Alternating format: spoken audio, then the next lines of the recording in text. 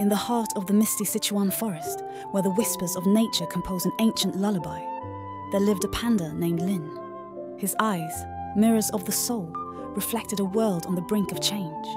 The forest, once a tapestry of green, now bore the scars of silence. The bamboo, Lin's lifeline, dwindled with each passing day. But then, like a gentle promise, humans arrived, not as harbingers of doom, but as guardians of life. With hands to soil and hearts to purpose, they planted hope, one bamboo at a time. Seasons turned, and the forest breathed anew. Lin, amidst the verdant abundance, found joy once more. And so, in the dance of leaves and the laughter of streams, Lin understood that kindness knows no bounds, and even the smallest act can echo through eternity. For in this world, where paths cross and fates intertwine, every heart has a story, and every story a beacon of love.